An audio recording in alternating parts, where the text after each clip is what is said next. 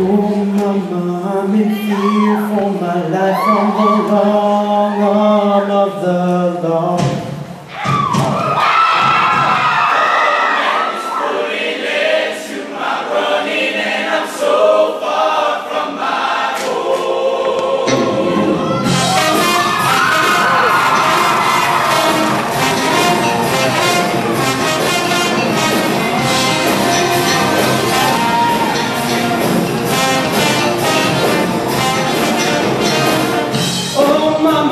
Years on the